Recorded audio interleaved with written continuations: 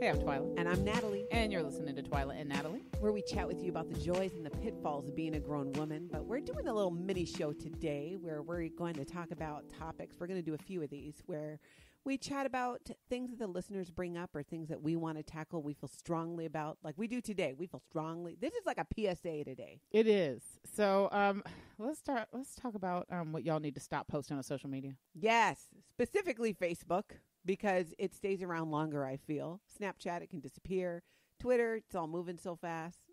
It's really probably all of it. Yeah, it's really all of it. I think I have something for everybody. I think I got a little bit of. I got a little bit to deal out to everybody today. I feel off the top of my head, the number one thing you need to stop posting on Facebook are pictures of your disgusting injuries. I don't want to see your jammed up, cut up, bloody toe.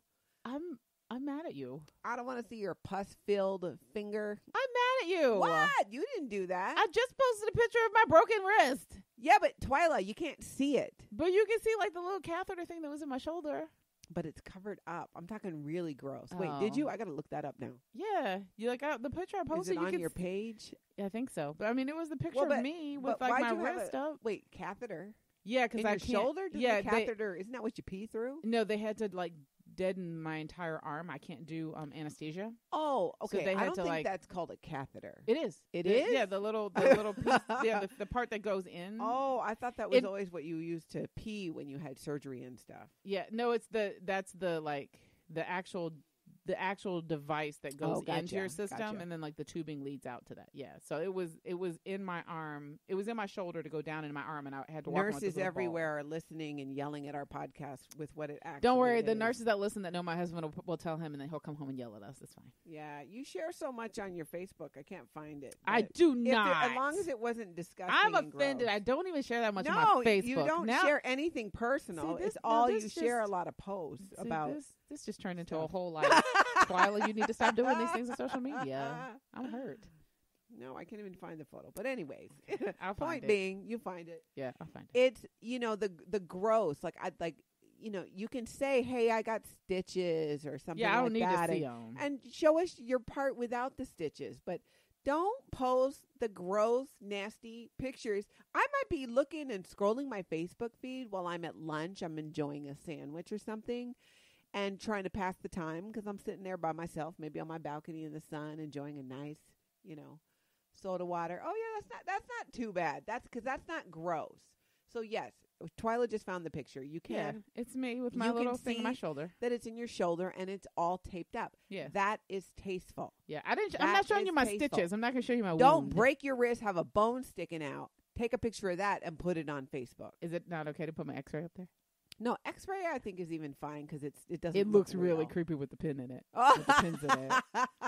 I basically have a rod and ten new screws for my pleasure. It's the gross ones, the ones where you look and you go, "Oh my god!" Yeah. Like, Oh, no, I- don't listen, want to see that. I live in a house with a health professional, and at least once a month we get some sort of magazine delivered, or the front Mhm. cover of the magazine is some sort of open wound or open surgery going on. Yeah. And I'm just like, why do we get this? Why do we get this at the house? And he's like, nobody told you to look at it. I'm like, it's on the cover. You can't afford in the mailbox. So I fully understand that. I do. I am not a blood and guts gal, so I understand that. Yeah. I think that's fair. I don't have too many people that do that on my feed. really. Maybe I mute them when they do it. What would you like to see people stop posting on social media? I would like. It's not gonna happen, but I would like it if y'all would stop posting like extreme viewpoints and positions that you're only posting to try to shame other people to change your behavior. Mm. Like you can have your opinions about things, but when you post things specifically to try to make other people feel bad about their station in life, I that bothers me. Mm. I'm not like even as much as I disagree with people, I know I disagree with half the country right now. I get it. But I don't use my platforms to try to shame you into changing your behavior. I use my platform to try to share with you my perspective or to share with you um, that people can bridge the gap. Yeah, somehow. Yeah. Like, don't- you do, and you you share a lot of things that too are because I watch a lot of the videos and I'll read the articles you share. I'm like, I didn't even know that. I didn't even hear that. I didn't even know you could eat that. you Yeah. know? I, I post a lot of vegan stuff now. Sorry, y'all. I apologize. But I mean, like that. But even stuff, even that, like that, like I'm, I am a self-professed vegan, and people, I think, immediately think that means I'm going to post like weird videos of like cows being abused on Yeah. I don't actually do that. I have my own reasons for why I eat the way that I eat. You Mhm. can eat the way that you want to eat, and I'm gonna always be respectful of you. I'm not gonna like try to browbeat you into changing your position. And I hate when people use those spaces that are meant for us to connect to each other and to be connected to one Mhm. another to try to alienate or ostracize people. I wish Mhm. we would stop doing that. It blows my mind that in as much as social media is a platform to put our best foot forward and to paint a picture of a life that is not perfect but make it look perfect. You know, I feel that that's kind of in in you either go down that route which or you go to the way of where you're just so nasty. You know? yeah, yeah, where you just hate everything all the time. It's like But I, you know what I think it is though, Twila. The, the the plus side to that is these platforms give us an insight into an individual who we might think we know, Mm. Because more often than not, they're not on the front end of I just want you to see how perfect my life is. Unless you're making money on social media, yeah. you know, then Yeah. everything looks fabulous. But if you're an everyday person using social media on a personal level, sometimes there's too much leaning towards the negativity and the hate and the ranting. And I'm like, okay, and I can have that. I'm not saying to stop doing it. I wouldn't do it because I think there's enough of that in the world without us adding to it. Yeah. I, want to add some po- positivity and dilute that, dilute the negativity. What I would like to see people stop posting on social media is the vague booking. Don't post major life changing thing happening to me in two days, but please don't ask about it. Like I'm not even joking. Someone actually posted that. Oh, of course I do. yeah, and but then- don't but don't ask about it. And then you're just supposed to go under it and be like, prayers for you. yeah, like what the hell? Yeah. You know. Yeah. then don't bring it up. Yeah. You don't, well, they- they're, they're being super passive aggressive about it. It's like, "Some- my life is hard. Well, and Don't that ask falls about it. that falls under attention horror. Like you're just trying to get attention. You're not even trying to get legitimate help. You're Yeah, not trying yeah. to get legitimate.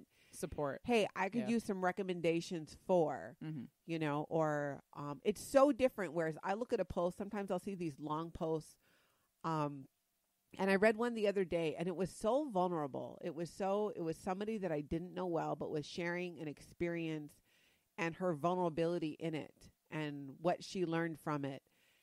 And and you know, and some might say, "Well, gosh, that's such a personal thing to share. Why would you do that?" It was honest. It was Mhm. honest, and it was raw, and it was something that she was having a hard time dealing with and she was working through it.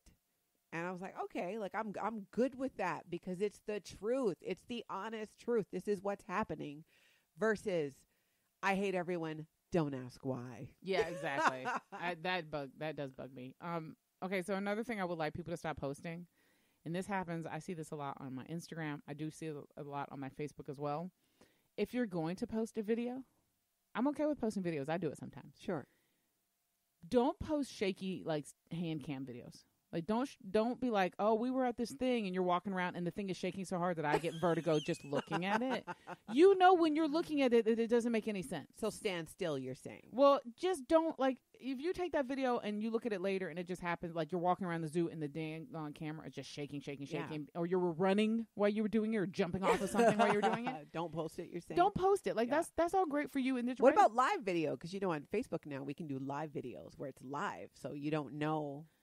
Even with Like, that? you can see it. Yeah. yeah. even with that because we, we can do that live. You can do live on Instagram. You can do live on on um uh, Facebook. You can do live like through Periscope on Twitter. Do yourself a favor. Just stand still.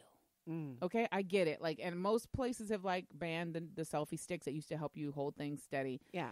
Um, but just either stand still or don't do it. Now, mind you, my only the only place I'm going to rescind that is um um all of you fine people out there who are taking your cell phones to concerts I can't afford to pay for and are periscoping the entire concert. Rock on. You're good. You're good people. You're quality humans. You're saving me hundreds of dollars. Thank you. Beyonce's coming up in June. Make sure you get a good seat mm-hmm. because that is where I actually don't have an objection. Even sometimes it's a little shaky. I don't have like I didn't have one hundred and fifty dollars to go see Pink, But a Mhm. bunch of people went to the Pink concert and and had good seats and taped her like floating around the ceiling singing, and I felt like I was there, and that was good enough for me. That's awesome. Yeah, so I mean, like, and mind you, I know I'm gonna get like uh, I'm gonna get something from somebody that's like that's terrible because they're ma- they're not making money. I know, Mhm. and eventually she will get my money because I will go see her. She's on my bucket list. Yep. But sometimes I can't afford these concerts, and concerts are expensive. And if you're when your ki- especially when your kids want to go see somebody, and it's and there's real money on the table, Mm. no friends. I'm not. I'm not paying five hundred dollars for boy bands I don't even like. Mm-mm. No, I will pay a lot for boy bands, but not the ones I don't like. Yeah. Forget it. No. No, you can't. So, yeah. The other thing, this one, this one is a big one for me too. Mhm. Please do not post on social media dirt and arguments with your ex. Okay, not just your ex. With anybody. I have. Okay, I'm, I'm, I'm saying this. I'm well, saying with it. with anybody, but specifically with your ex, and especially if you have children with that person, because maybe your kids are three and five now, yeah, or they don't get whatever it now, is. but this is on the internet forever. Forever. Your in-laws can screen shoot this stuff. Yes, you know, other people can. You don't know who's your friend and who's not your friend. You don't know if anybody really is who they say they are on the internet. So don't think it's well, it's my private personal page. No, no, it is not. no. There's someone on and there. half the time, your all your stuff is is marked public. You just don't know it until you go in there and actually mark it all private. Yeah, So- and and don't. There's no good that can come from it, and that can be so hurtful to someone else. Because you know what? Let's look at it too. It's like everybody's ex jerk is somebody else's prince or princess. That's true. You know, so it didn't work Wait, out for wait, you. Wait, wait, wait. What? No, rescind that. well, I look at it Because like I've had this. because I have some ex jerks, and he might be somebody else's prince, but I don't care about that. Wait, you have an ex who might be a jerk, but he's somebody else's prince. Yeah, but I'm saying though, it's just it's your experience with one person does not dictate that person's experience with everyone. But it does dictate whether I hate them or not. It does, but that's your personal bias and your view. And it's just I think it's it's But I taking don't- it too far to don't put it on a public it- platform. But I don't put it on a public platform because I want to preserve their ability to be like seen as something by somebody else. I don't put it on a public platform because I don't want to look like a crazy person. on a public platform. Exactly. Yes. Okay. That's the thing. It only makes the person posting the negative stuff about somebody, whether it's an ex or about anybody, like you're saying, Yeah. it makes you look like a nut job. Because think about it, when we read that stuff, yeah. We just go, ooh, girl. I don't, I don't What's think, happening? oh my gosh, what a butthole that you used to be married to. I might think, well, that's not very nice. Because the first thing that enters into my head when I see anything, or even when I'm told things about people like that, first thing in my head is there are two sides to every story. Because I have raised children, so if you come at me with Shelby hit me, I'm like, why she hit you?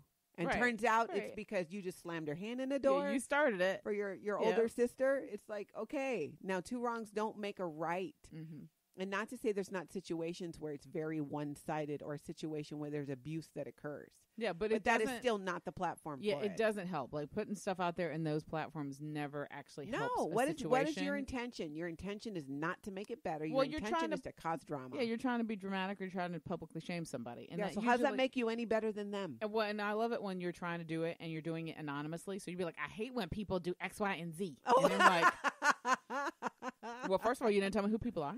Yeah, Two, sometimes you don't even fully explain X, Y, and Z. yeah, And then three, you just look like bitter Betty. Like yeah, don't. yeah. And then and then I love it when like somebody like I okay I'm fully calling out people not in full but I'm calling people out in my life that will do this Mhm. and then wind up getting into like a passive aggressive argument with other people connected because they're not sure if they're being talked about or not. and then you watch the thread be like it'll be like eight posts deep of these two people arguing with each other.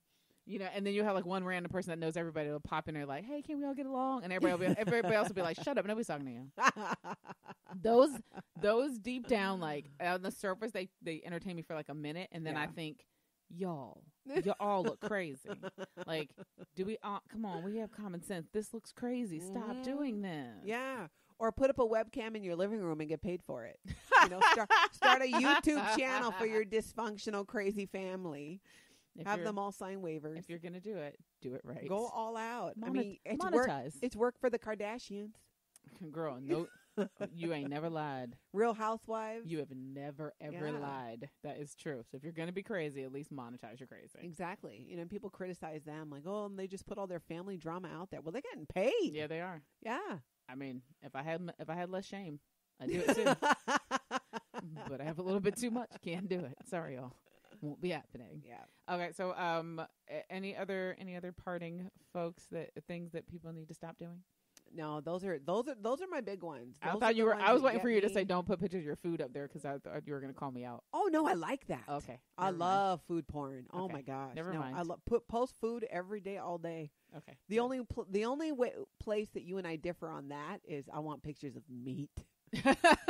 Yeah, I'm only I'm only. I'm only posting vegetables and tofu. Sorry. Oh my god, that, I can't even go to the zoo because I get hungry. Ah, I mean, that's ridiculous. Yes, the state fair.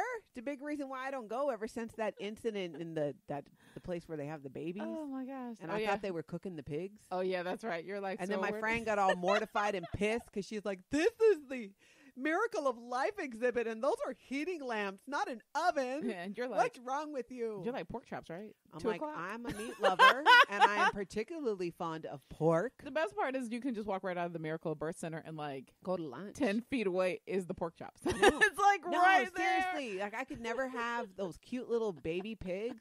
And I do feel bad because sometimes people post a cute video and like my mouth literally will water. you know, even if it's a baby. For I just I can't help it. I love meat Oh with a passion. I mean, I don't even hardly eat vegetables Oh because I don't want to fill up. I'm not even joking, Twila. I can know. I just wish I could see your face. You were so. You were like glowing of happiness. Like right now. Sometimes I eat chicken and steak. The other day I had two different types of steak. I had a ribeye and a T-bone. The only way this could get happier for her is if we tar start talking about spam, Oh, and then yeah. she'd be just Love like she'd just be like all all all in. all right, so. Uh, in the meantime, you guys go check out the website. Go to matriarchdm.com. Twila and Natalie has a page. You Mm-hmm. can listen to previous episodes. You can email our show at hello at matriarchdm.com. And um, hey, check out the blog too. There's a blog there now too. Um, in the meantime, we're going to have some new episodes coming for you very, very soon. We're already working on them. But um, enjoy the break, and we will talk to you soon. Thanks for the support.